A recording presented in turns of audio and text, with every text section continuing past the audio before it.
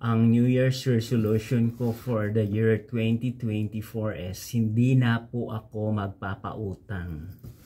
Kasi to ito, diary ko, diary ng pangit ko to. Hmm. Ayan o, i-reveal ko yung mga nangutang sa akin na nagsangla ng ATM nagsangla ng ATM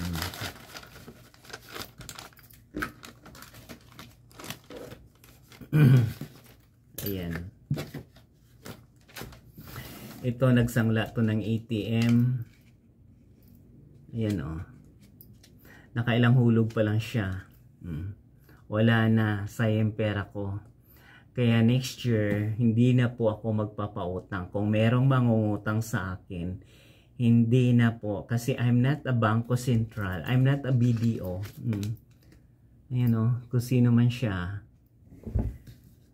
mini-message mo siya, ina-unsend lang yung message ko sa Messenger at saka sa Viber. Ang kapal ng mukha, di ba? Magsasangla ng ATM, wala na. Hmm. Mini-message ko, sana gumanda buhay mo, ha?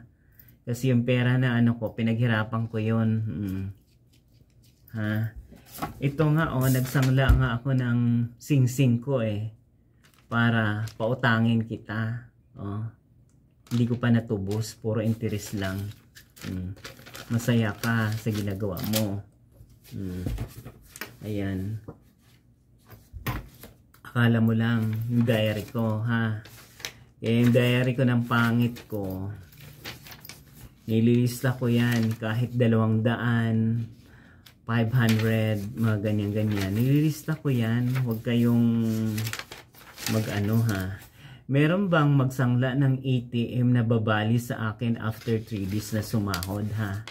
Ako lang yung nakagawa. Pero next year, bawal na bumali at saka bawal na ako magsangla ng ATM.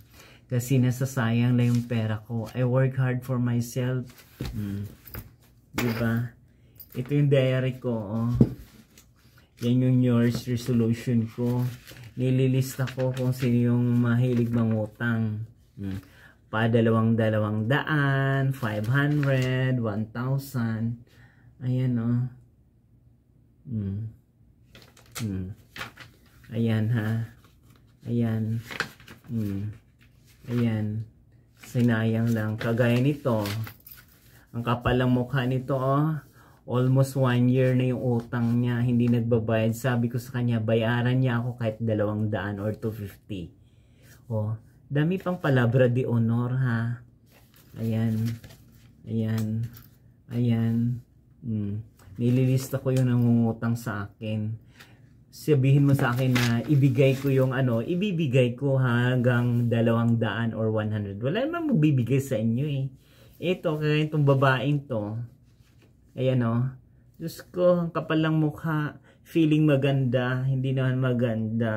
Uh, girl, kung ayaw mo na magbayad ng utang mo, sana gumanda yung buhay mo. Kaso hindi naman gumanda. Tinanong ko sa mga kapitbahay mo. Hindi naman gumanda yung buhay mo. Diyos ko Lord. Ito okay lang to kasi alam ko naman may sakit ka. Sana gumaling ka. Hmm. Kaya next year ang revelation ko sa mahilig mangutang na hindi marunong magbayad, hindi na po ako magpapautang. Ha? Ayan yung diary ko. Ayan yung diary ng pangit ko. Oh. Ayan. Ibabaon ko na lang sa limot sa aking mahiwagang baul.